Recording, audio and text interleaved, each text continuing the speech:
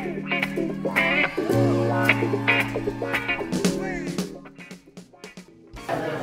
my name is Michael Redder and I'm representing the brand Circle of Gentlemen. We are founded in 2006 by making shirts. Uh, we started to make high colors. We have now a sophisticated collection we sell all around the world. Our most important markets are uh, England, uh, Canada and US. We are proud to be on this occasion on the Dutch uh, Fashion Touch. Looking forward to a fantastic period in Italy. this season we have actually a collection with a lot of inspiration from also the Dutch heritage. We have uh, paintings involved, neon colors. We really like to get back details in the collection.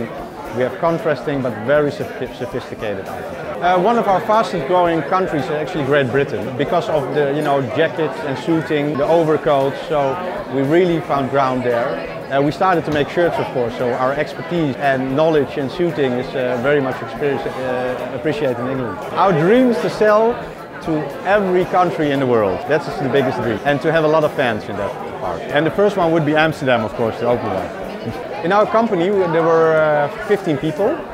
And we are based in a village uh, called uh, Bunschoten Spakenburg. And it's an old Dutch uh, fisherman's place.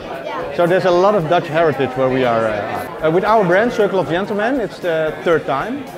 Yeah, so it's the third edition. So we had uh, two winter editions and one summer. We see that we really get a lot of out of it. We are happy that we are invited actually in the Savoy Hotel in Florence by the Dutch Embassy to uh, even support more the, the Dutch business. We produce in uh, Portugal, we produce in Italy. A lot of fabric comes from Italy. So we uh, have a lot of Italian influence as well. My personal choice about the fabrics or the, uh, it depends because the suiting is uh, very well done in, in Portugal.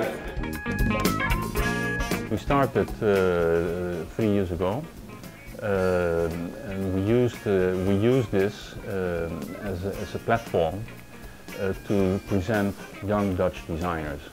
Pitti of course is the biggest men's fashion fair in the world uh, so whenever Pitti is held the whole fashion world descends on, descends on Firenze and we want to use that opportunity of the presence of all these uh, important people in the fashion world to present young Dutch to, uh, to actually enter the fashion market in Italy uh, is not an obvious thing to do for Dutch fashion designers, but we believe that the quality is so good uh, that we can compete with any designer who is here in Italy. We can create sort of conditions in which they can flourish and we can uh, set up uh, an event like this, but at the end of the day, the designers themselves will have to do the work.